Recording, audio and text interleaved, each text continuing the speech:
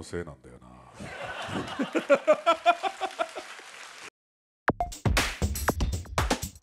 まあもうすでにあの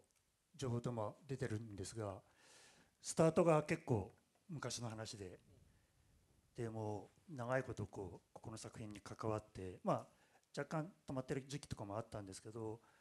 まあもう自分の経歴の中でも結構一番長い関わりを持った作品かなと思ってます。まあ、現場も結構いろんなことがたくさんあり、まあ、あの本当にいろんなことがありました。でもうやっと完成できて、まあ、作品としてはほっとしてるところではあります。その終わっちゃったなという寂しい気持ちがやっぱり大きいですね。その、まあ、アフレコ自体も2021年にやっててそこからこう、えー関わらせていただいてで5月から上映が始まって、えーまあじゃあ最終幕やる頃はなんか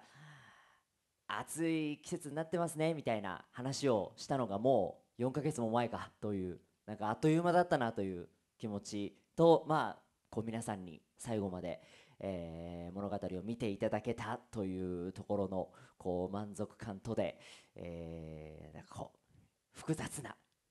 複雑な心境です、はい、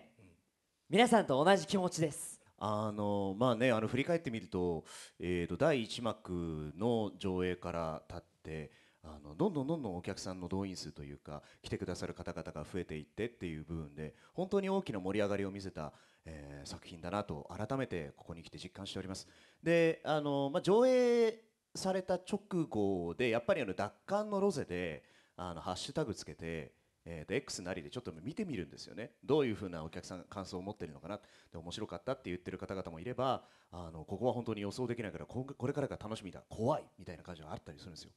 で今回非常に印象的だったのが、えー同時上映しております。同時上映というか同時期に上映しておりますあの僕のヒーローアカデミアから出てくるお客さんと奪還のロゼから出てくるお客さんの表情が対照的すぎると。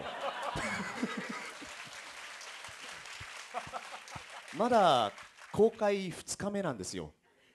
どうかあの気持ちはわかるがあまり暗い顔をしないでいただきたい。の方があの今後の今後の何かにつながっていくんじゃないかなと僕は思っておりますので、えーそんな気持ちでいっぱいでございますけれどもねあの楽しんでくれていたら嬉しいなというふうに思う次第でございます。そうですねあの私もその暗い気持ちというか暗い顔でこの劇場を出てしまうみたいな感覚すごくわかるのであのアフレコの時もこう一番最後のシーンを撮る時に次のシーン撮りますってなってたところ本当にもう切り替えが追いつかなくって何度も何度ももうちょっと明るくやってくださいってディレクションをいただきながら一生懸命撮ったシーンでもありました。なので今日この日を迎えることが嬉しくもありちょっとこう来てほしくないなっていう気持ちもあり来てしまったら本当になんかお別れが来てしまうんじゃないかっていう恐怖ですごく震えてたんですけどでもあの本当にこう今日舞台挨拶とかもあってこう皆さん見ていただいてこう少しでも明るい気持ち明るい表情でこの劇場をあの出ていただけるようにこうトークの方もねみんなで盛り上げていきたいと思いますのでよろしくお願いします。私もこの舞台挨拶登壇させていただくってなって昨日の夜あのーそのサンプルの映像というかカンパけた映像を本当昨日の夜見てこの場に今日立ってるんですけどもう本当に自宅のテレビで見ててもう見た後しばらくなんか動けなくなっちゃうくらいすごくこう感情がぐちゃぐちゃになったんですけど多分ここにいる皆さんもきっと今そんな気持ちですよね。なんだろうなっていうふうに思っていてさっき今日の舞台挨拶の打ち合わせする時もどういうテンションで出ていきましょうかみたいな多分こう見終わった後の皆さんはきっとうわーみたいなテンションではないからこうせめてなんかこうちょっと明るくいこうみたいな話が我々の中であったりとかしたんですけどでもなんかきっと皆さんこういろんな意味ですごくこういいいい作品だったなって思ってくださったと思うので今日は皆さんとそんな思いの丈を共有できたらいいななんて思ってます。安本さんお願いします俺のせいなんだよな。っていうのだけじゃない、まあ、ノーランドというね彼も彼なりに背負わされたものもあるし彼なりに純粋に信じきってて、まあ、信じきるという言い方をね相手僕したいと思うけど彼なりにブレることもなくずっとやった結果で、まあ、結果すまんなっていう感じにはなってるんですけど僕これ見てて当然辛いしで前を向く力を他の人にもくれてるような気がしてて僕はそこにまだ一縷の救いがあるんじゃないかなと思ったんで、えー何回も見ていただけるといろいろ気づくと思うんでね。見るたびに嫌われる可能性はあるんですけど。いつもですとなんかこう「どうも」みたいな感じで入っていくんですけどさすがにそんな雰囲気では入れないっていうものとまあまあまあ